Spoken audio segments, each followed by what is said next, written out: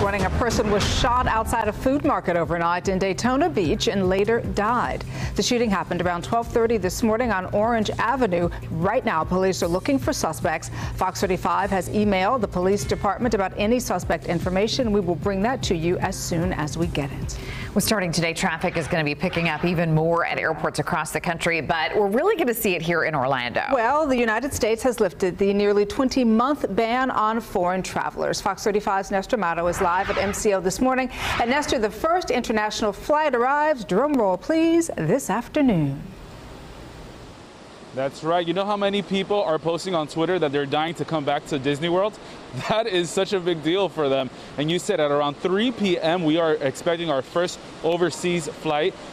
It's going to be from Manchester, England, over here. I do want to show you the how it's looking right now. This is the security check-in. It's been going up and down as far as busyness throughout the morning if you've been with us.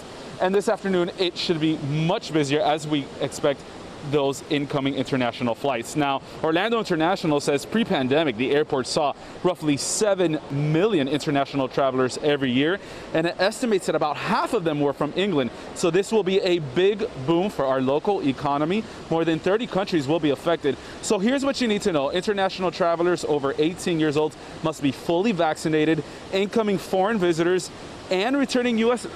residents must have a negative COVID test within 72 hours of arrival, and unvaccinated visitors must show a negative COVID test within one day of departure.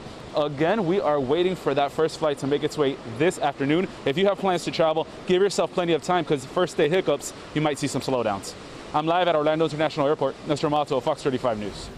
Nestor, thank you. For coming up in less than 10 minutes, we're going to talk live with Orlando International Airport CEO Phil Brown about how the airport is preparing for this influx in travelers. Right now, children ages 5 to 11, they can get their